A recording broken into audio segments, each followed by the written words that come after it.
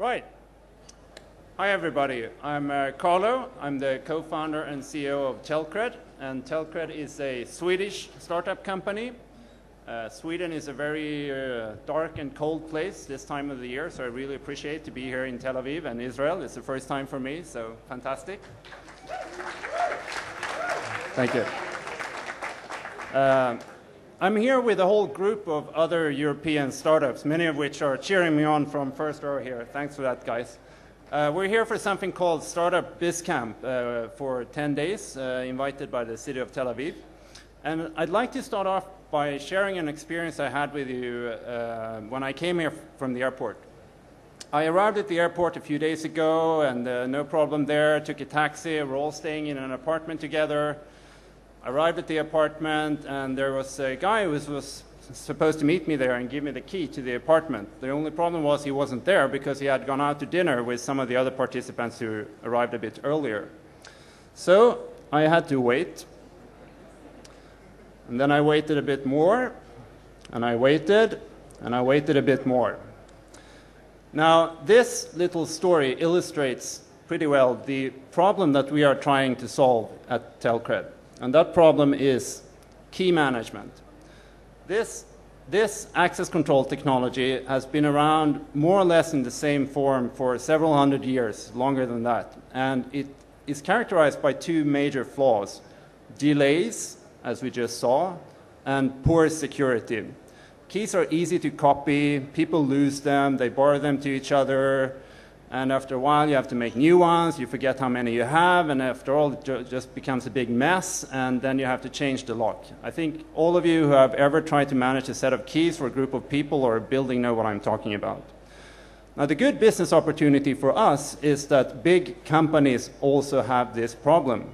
Let's take a couple of examples. Telecom infrastructure, mobile network infrastructure, power companies, shipping, all these industries and many, many more rely on traditional metal keys to protect their core assets. And they have all these problems of poor uh, productivity, delays, and poor security that I just described. So what can we do about that? Is this the solution, this nice access control system we have in our office? Unfortunately not, or fortunate for us, because that system actually looks like this.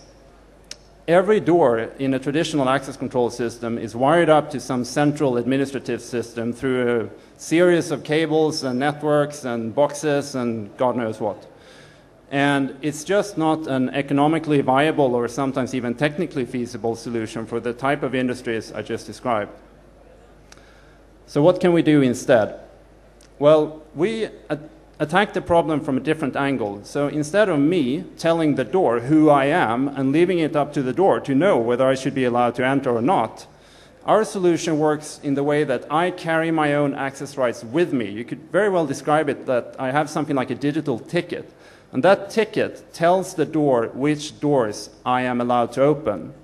So the door only needs to know about its own identity and the current time. And that the time it has a clock and the, its own identity doesn't change over time, so it can work uh, offline or standalone. So what is this ticket? We use a technology uh, that's been around for a couple of years, but it's now actually starting to get out into the market. It's called NFC, which stands for Near Field Communications. It's, uh, it was originally developed for uh, mobile payments, uh, so it's, it was designed and developed to allow your mobile phone to replace your payment cards in your wallet, your Visa card, your MasterCard, or whatever you use. So it's got all the necessary characteristics to develop solutions with strong security, because that's what the payment industry requires. And that's something we can use uh, to develop this system of digital tickets. It's a perfect solution for distributing and storing a digital ticket, which can then be provided to the lock. So we're a product company. We actually make hardware, which is a bit unusual in this group. uh, and, and the software that goes with it. So the products are an administrative system, obviously based in the cloud, accessible through the web, and then uh, different hardware configurations that control the actual lock. We don't make the actual locks, but we make the readers and the controller, control units that tells the lock whether it should open or not. Uh, what you see here, the lock in this picture, is uh, our current prototype, and it's uh, actually being used. And uh, I'll show you how it works. So uh, first of all, we show the operation when I don't have a valid ticket on my phone. And uh, this is an add-on to a traditional, very usual uh, Scandinavian-style mechanical lock. So the, uh, the lock didn't open here. Now I will present it. Uh, you don't see this, but now I sent a new ticket to my phone, which has the necessary access rights on it to open this specific lock. And after a little while, I can push down the handle and open the lock. The handle action is just to save battery. There's, uh, so the batteries are only used for the processing and to make the decision, and then there's a small switch that will move and allow me to lock or unlock uh, by just moving uh, the handle. So we're currently at the stage where we are deploying this solution. We've had it running for two months. Uh, it's a joint project with Ericsson for some of the NFC stuff and with KTH, which is the University of Technology in Stockholm. So we have a group of about five, six staff and 30 students that are now using this on a daily basis since a couple of months. It's been working extremely well. We've hardly had any problems at all. And um, we're looking to launch commercially sometime first half next year and with a more industrialized product than we have now, and we'll also be seeking funding for that. Thank you.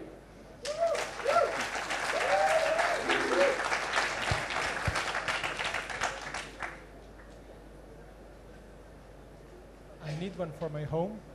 It's working? Working? Whoa. Yeah, working. So um, I want to be a better customer in Israel. I need it for my home. Um, what do I do with an Apple product like a, uh, an iPhone which doesn't have NFC? Well, uh, there are two answers to that question. The first one is that for that specific reason, we have chosen to target enterprise customers first.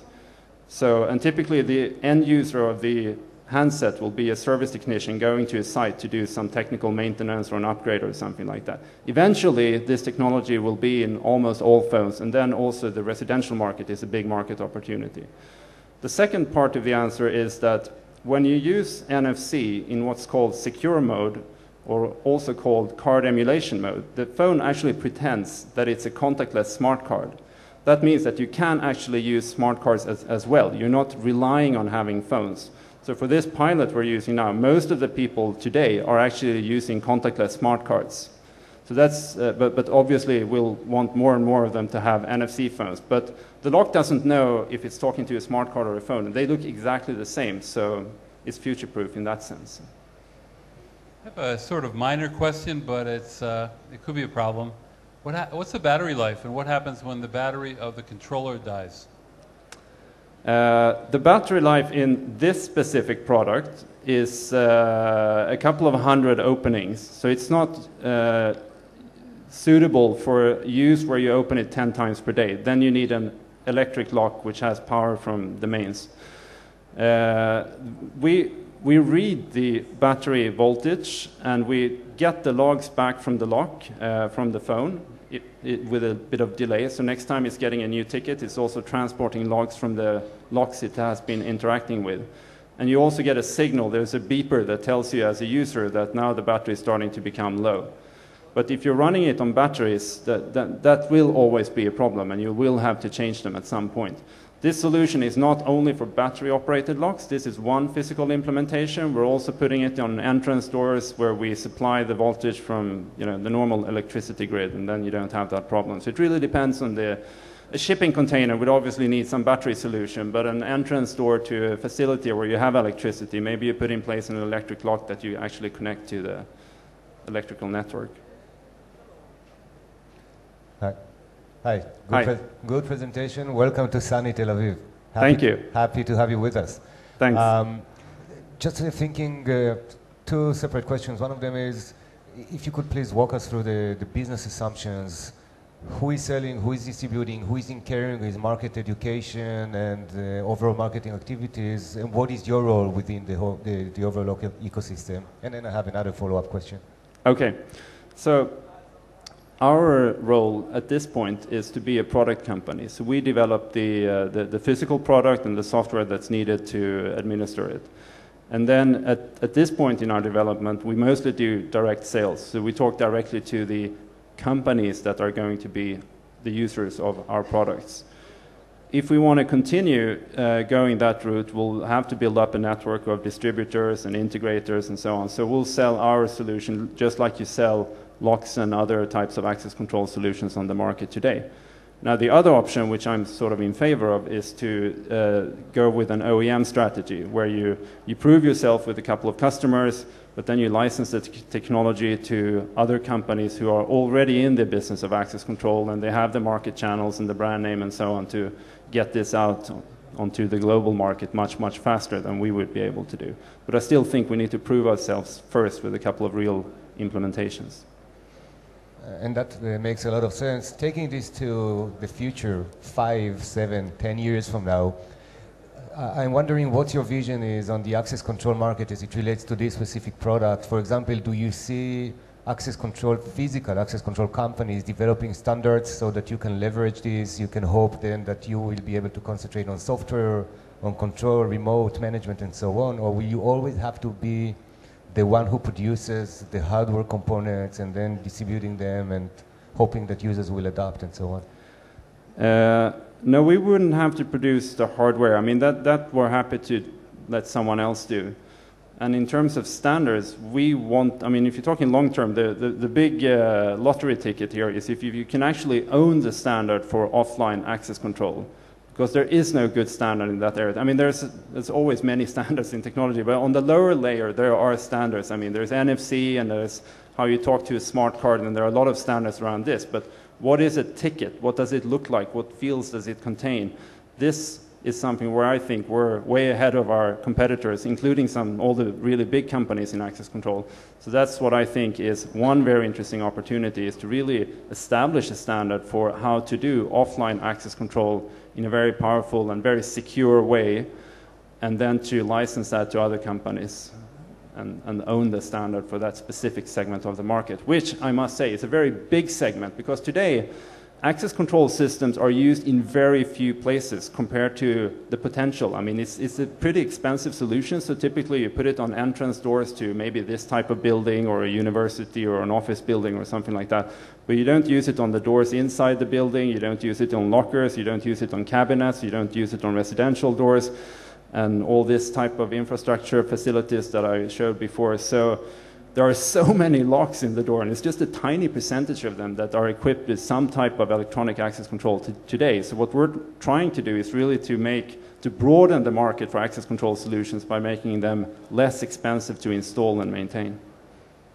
Uh, when you think about a prospective customer shopping for an access control system, what do you think about what's important for them, what's not important for them, and how do you differentiate yourselves in the in the buying process? Why would they choose you versus whatever other alternative they have?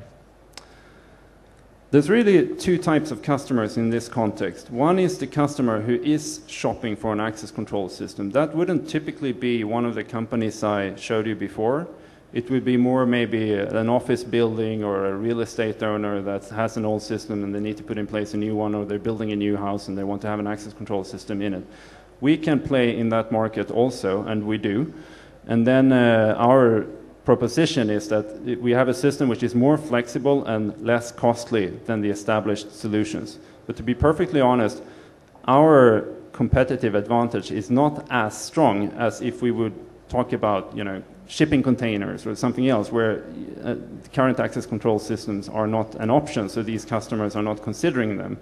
So then you really have to uh, yeah, you have to educate the customers about that this opportunity exists and try to. Uh, they, they're always very aware of all the problems they have with traditional keys, but then of course they need to look at their ROI and what's the investment, is it worth it, and so on. So that's uh, in a way a tougher sell, even though our uh, competitive advantage is stronger. Thank you very much. Thank you.